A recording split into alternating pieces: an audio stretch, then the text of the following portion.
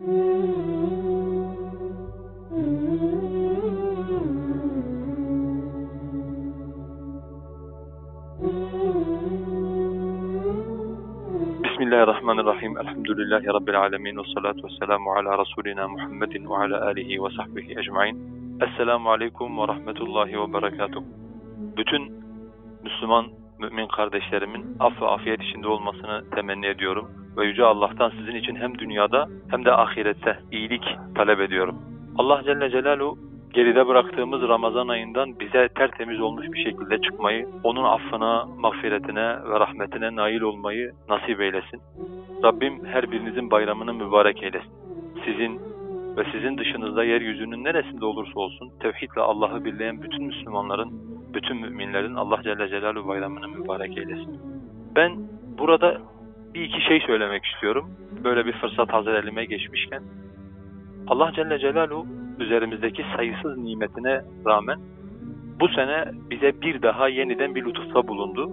Bizi hem ruhun bayramı olan Ramazan ayına hem de bedenin bayramı olan Ramazan bayramına eriştirdi. Tabii ki burada Allah Celle Celaluhu'nun bize öğretmek istediği, bize göstermek istediği bir şey var. Nedir o? Birincisi şudur. Allah Celle Celaluhu bize diyor ki, kim ömrünü Ramazan gibi yaşarsa, ömrünün sonu bayram gibi olur. Yani bu şu demektir. Nasıl ki siz yılın bir ayında Allah'ın rızası için Allah'ın sınırlarını çiğnemiyor, Allah'a kulluk yapmak için yemekten, içmekten, şehvetten uzak duruyorsunuz ve bunun sonucunda da Allah Celle Celaluhu size bayram nasip ediyor. Eğer siz ömrünüzü Ramazan kılarsanız, yani ömrünüzün tamamında Allah'ı razı edecek bir irade ortaya koyarsanız, Allah sizi asıl bayrama, ebedi bayrama, yani cennetlerine eriştirir. İkincisi ise Allah Celle Celaluhu'nun bize vermek istediği bir mesaj var, o da şudur.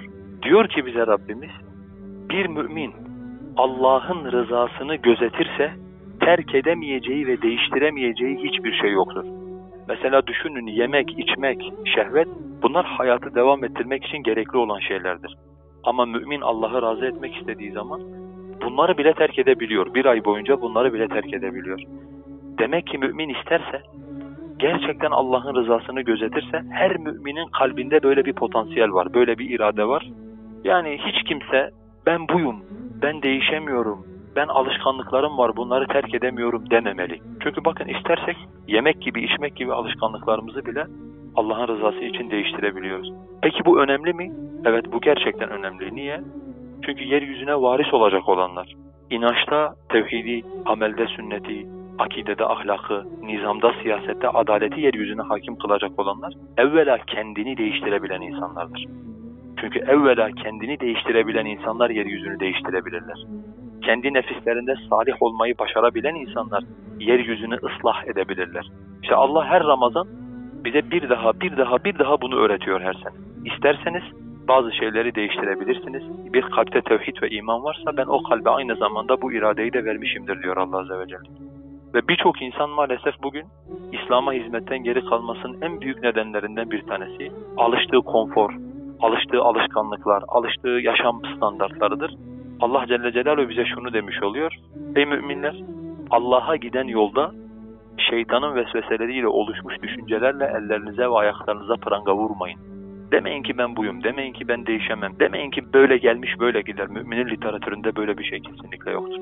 Onun için biz bu iki mesajı anlarsak Ramazan'dan ve akabinde gelen bayramdan, biz bu iki mesajı anlarsak Allah'ın izniyle bizim için asıl bayram o gündür işte.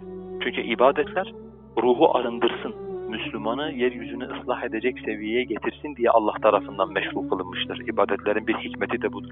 Biz ne zaman ibadetlerin hikmetini anlar ve o hikmetler bizim nefsimizde açığa çıkmaya başlarsa işte o gün biz gerçek bayrama erişmiş erişmiş oluruz demektir.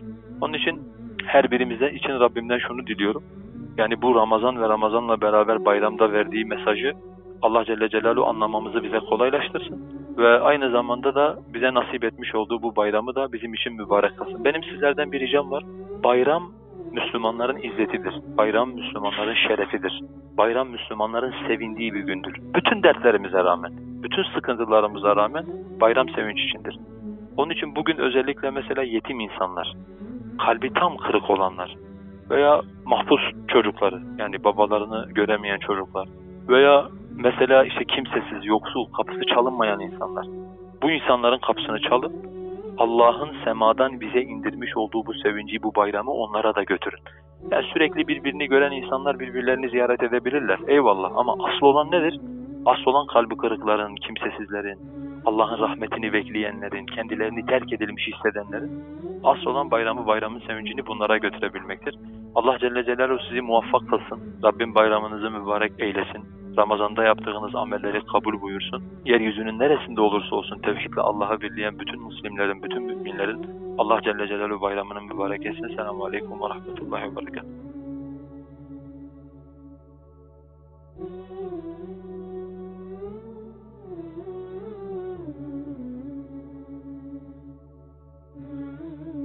Öncelikle her birinizin geçirmiş olduğunuz Ramazan ayından günahlarından arınmış ve mağfiret olunmuş olarak çıkmış olmanızı ve Kadir Gecesi'ne isabet edip her birinizin dualarına icabet olunmasını ve şu an içerisinde bulunduğumuz bayramda da tüm ağabeylerimle, bacalarıma ve tabii ki bayrama nasıl sahibi olan çocuklarımıza mübarek olmasını ve tüm Müslümanlara hayır getirmesini Yüce Rabbimden dilerim. Halimi soracak olursanız Allah'a hamdolsun. Onun sayısız nimetleri içerisindeyim. Rabbimin hakkında takdir ettiği günleri yaşıyorum. Sağlık ve saatim oldukça iyidir ve moralim de yüksektir. Nasıl olmasın ki? Her zorluğu bize alıştıran ve kolaylaştıran, bulunduğumuz dar mekanı bize genişleten ve her zorluğun yanında ikimizi kolaylık veren Rabbimiz bizimle. içinde bulunduğunuz ortamın kıymetini ve değerini bilin kardeşler. Gerçekten bu tür ortamlardan insan uzak olduğu zaman ve başka ortamlara girdiği zaman bu tarz ortamların kıymetini ve değerini daha da iyi anlıyor. Bu vesileyle mübarek Ramazan bayramımızı kutlar ve hayırlara vesile olmasını dilerim. Ben sizlere duacıyım. Sizlerden de Allah için dua bekliyorum. Kardeşiniz Mehmet. Kardeşler eğer bizi merak ediyorsanız veya biz, bizi soruyorsanız emin olun sizi çok özledik. İsterdik ki yanınızda olalım. Size sarılmayı öz- özledik. Sizin hüzününüzü ve sevincinizi paylaşmayı özledik. Gönül isterdi ki bu bayramda yanınızda olalım. Size sarılalım, sevincinizi ve bayramı birlikte paylaşalım. Ancak Allah belli bir vakte kadar burada olmamızı takdir etti. Bu vakit bittiğinde inşallah çıktığımızda kaldığımız yerde devam edeceğiz. Sizlere dua ediyoruz. Rabbim sizden işlerinizi kolaylaştırsın. Sizi tağutların şerrinden korusun. Bu vesileyle tüm Müslümanların bayramı mübarek olsun. Hepsinin bayramını kutluyoruz. Esselamu Aleyküm ve. Kardeşiniz Veysel Türk. Dava arkadaşlarımın ve tüm Müslümanların bayramını kutlar, esenlik diler, dua eder ve dua beklerim. İsterdim ki kardeşlerimizle beraber bu ayı geçirelim, bu ayı idrak edelim, beraber çalışalım, hizmet edelim, ter dökelim, mücadele verelim. Nasip Allah Azze ve Celle'nin takdiri bizlerin isteğinin önüne geçti. Bizler bu sene Ramazan'ı zindanda geçirdik. İslam davası uğruna gönderilen peygamberler kervanının çektikleri onca eziyet, işkence, acılar yanında bizlerin başına gelen musibetler, devede pire, okyanusta bir damla su misali. Abilerimin, ablalarımın, kardeşlerimin, dava arkadaşlarımın ve tüm Müslümanların bayramını kutlar, esenlik diler, dua eder ve dua beklerim. Sizleri Allah için seven ve kavuşacağımız günü hasretle bekleyen kardeşiniz Tolga. Esselamu Aleyküm ve Rahmetullahi ve Berekatuhu. Allah'a emanet olun. Hepinizi çok özledim. Sizlere kavuşacağım günü Rabbimin kaderine rıza göstererek sabırsızlıkla bekliyorum. Aramıza gelen engeller ve uzun mesafeler bedenlerimizi birbirinden ayırsa da yüreğim bu geçen zaman zarfında hep sizlerle birlikte oldu. Hiç kuşkusuz beni öylesine seven, benim de kendilerini öylesine sevdiğim kardeşlere sahip olmak içinde bulunduğum şartlarda tarifi zor, kıymeti büyük bir nimet. Resulullah Aleyhisselam'ın bir hadisinde bizlerin bize şu sözleri hatırlamakta fayda var. Hoşlanmadığı şeylere sabretmekte pek çok hayır vardır. Yardım ve başarı sabırla birliktedir. Dizliğe çıkışta sıkıntılarla birliktedir. Şüphesiz zorlukla birlikte kolaylık vardır. Bu vesileyle bizleri bir bayrama daha ulaştıran Allah'a hamd eder, bayramımızı tebrik ederim. Allah'a emanet olun. Kardeşiniz Sina. Değerli abilerim, kıymetli ablalarım. Allah Azze ve Celle hiçbir şey yaratmadan 50 bin sene önce her şeyi yazdı. Biz buna kader diyoruz. Hakkımızdaki kader kazaya dönüşünce payımıza zindan düştü. Her halimiz için Allah Azze ve Celle'ye hamdolsun. Başta peygamberler olmak üzere bizden önce yaşayan salih insanların neredeyse tamamı ağır ya da hafif bazı musibetlerle imtihan olunmuşlardır. Değerli abi ve ablalarım, Allah için ama Allah için bizleri dualarınızda unutmayın. Tüm rahmet ve bereketiyle beraber bir Ramazan ayını daha geride bırakıp bayrama kavuştuk. Allah'tan dileğim bu aydan bağışlanarak ve arınarak bayrama ulaşmamızdır. Bu vesileyle hepinizin bayramını tebrik ederim. Orucu biz tuttuk, oruç da inşallah bizi tuttu. O halde bayram da bizimdir. Hep beraber sevinelim. Rabbimden tüm Müslümanlar için af ve afiyet diliyorum. Rabbim başta muhterem hocamız olmak üzere tüm mümin mahkumlara hayırlı kapılar açarak onları azat eylesin. Hepinizi Allah'a emanet ediyorum ki bu emanetleri asla zayi etmesin. Dua ikliminde buluşmak dileğiyle kardeşiniz Abdullah.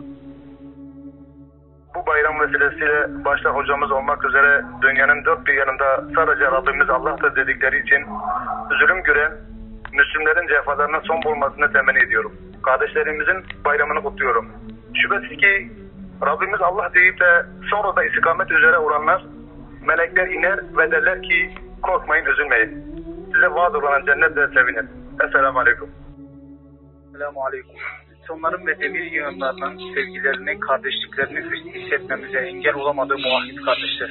Unutmayın ki Rabbimiz ayette buyuruyor ki وَمَا كَانَ رَبُّكَ نَسِيًّا Rabbin unutkan değildir.